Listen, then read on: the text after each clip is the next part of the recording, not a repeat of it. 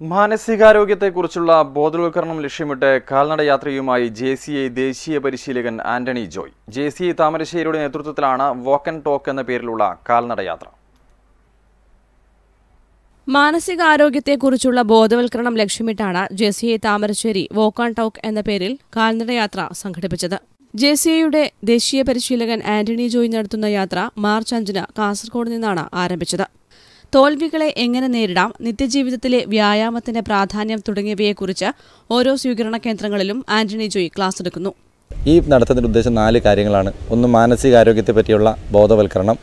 രണ്ട് കുടുംബ ബന്ധങ്ങൾ കൂടുതൽ മെച്ചമുള്ളതാക്കുവാനുള്ള വഴികൾ. നാല് മൂന്ന് തോൽവി എങ്ങനെ നേരിടാമെന്നുള്ളതിനെ പറ്റി. നാല് ഡെയിലി നിത്യജീവിതത്തിൽ വ്യായാമത്തിന്റെ പ്രാധാന്യത്തെപ്പറ്റി ഇങ്ങനെയുള്ള നാല് കാര്യങ്ങളെ പറ്റി ബോധവൽക്കരണമാണ് ഈ പ്രോഗ്രാമിലൂടെ നമ്മൾ ഉദ്ദേശിക്കുന്നത്.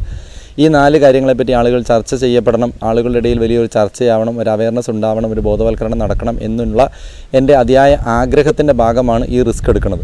J C A Thalassery J C A Thalassery heritage city Thalassery golden dream എന്നിവയുടെ സംയുക്താഭിമുഖ്യത്തിലാണ് കാൽനടയാത്രയ്ക്ക് സ്വീകരണം നൽകിയത്.